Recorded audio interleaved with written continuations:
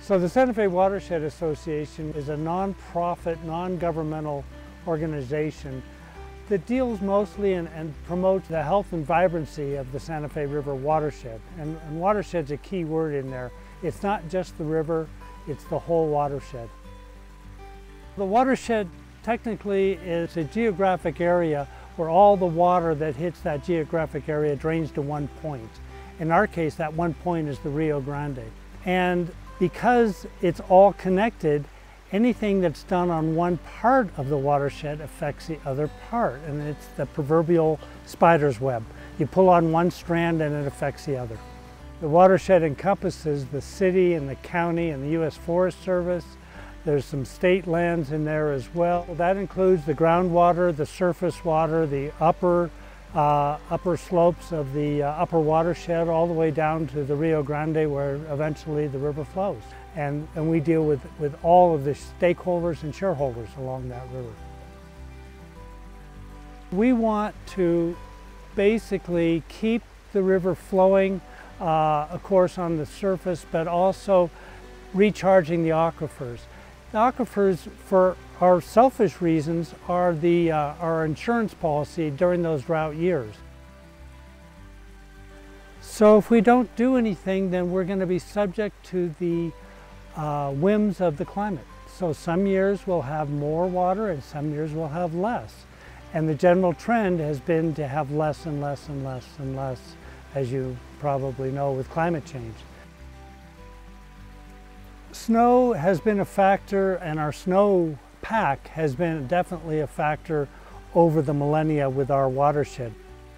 But the snowpack has no relation to the summer patterns, especially the monsoonal patterns.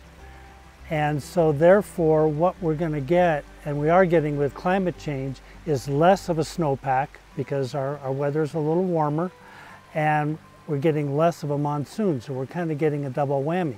So what we're trying to do is create an underground reservoir that is not as prone to precipitation and drought and evaporation that we have in our other surface reservoirs.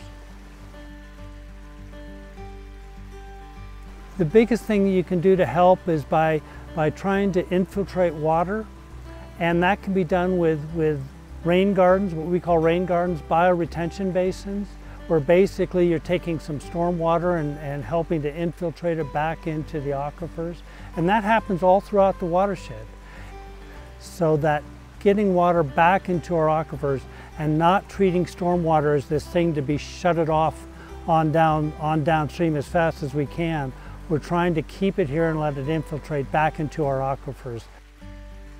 The notion is to try to have as many points of infiltration as we can because that's what it used to be like before we were here and before we had paving and roofs the water infiltrated throughout the watershed. Now we've channelized it and that has caused so many of the issues. So we're trying to get back to infiltrating it throughout the watershed. So many people assume that there's some big agency taking care of our Santa Fe River and our Santa Fe River watershed. But in fact, the ownership is, is many stakeholders. I'm going to guesstimate 40 or 50 major stakeholders and shareholders, property owners of the watershed. And there is no specific agency for oversight of that watershed. So what we have tried to do since 1997 is to basically try and bring them all together and say, what are you doing? There was a formal management plan for the municipal watershed that we, again, brought the folks together on in 2010. And that's the municipal watershed plan, 20-year plan that we're still operating under.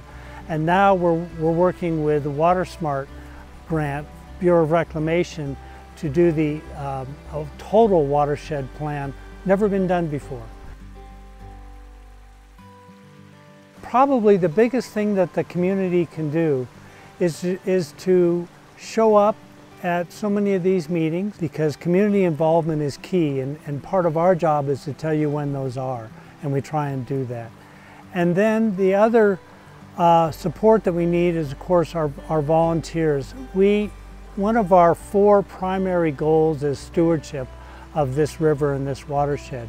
And that takes stewards, volunteers, going out into the rivers and into the arroyos and helping to, to clean up the trash and helping to plan how best to reduce the erosion and the damage that happens in so many of these areas.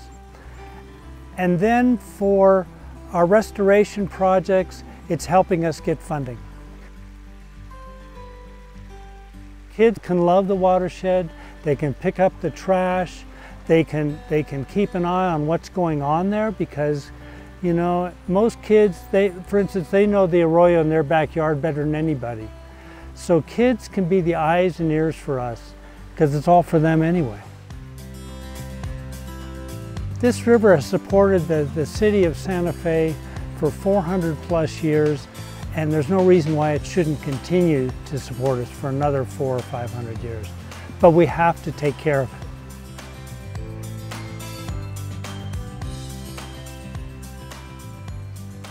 Thank you for joining us today. It means so much to us to have the support that you all demonstrate by, by being here and by watching this.